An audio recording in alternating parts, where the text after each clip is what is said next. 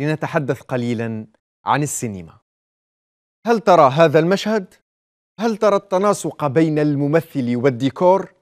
هل تتخيل أن الممثل واقف أمام شاشة تعرض تصميما أنتجه برنامجا لصناعة الألعاب؟ أنا ضياء الدين وهذه السينما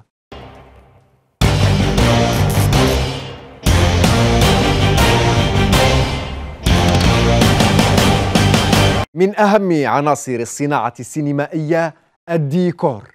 جزء كبير من ميزانية الأفلام تصرف في هذا الجانب بداية بجولات البحث عن المكان المناسب لمخيلة السيناريست ثم كراء المكان أو شرائه أو حتى تعديله أو بنائه في بعض الأحيان بمبالغ خيالية يمكن أن تتعدى ميزانية مدن إعلامية كاملة.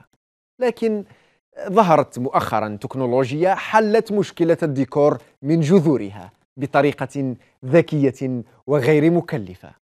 تطورت صناعة الأفلام إلى درجة الأبعاد الثلاثية كما شاهدنا في تحفة جيمس كاميرون أفاتار. هذا الفيلم الذي حقق أكثر من ملياري دولار ومنح المشاهدين فرصة الدخول إلى المشهد السينمائي وعيش القصة من جميع أبعادها.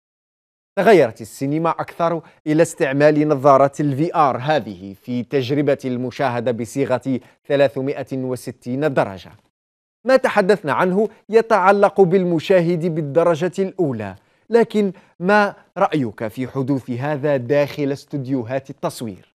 تكنولوجيا جديدة بوادرها ظهرت من ثلاث سنوات واستمرت في التطور إلى أن وصلت إلى هذه الدرجة كاميرات خاصة تصور الممثلين في ديكور واحد ولكن هذا المكان يتغير والخلفية تتغير وعناصر الصورة أيضا فكيف تعمل هذه التكنولوجيا؟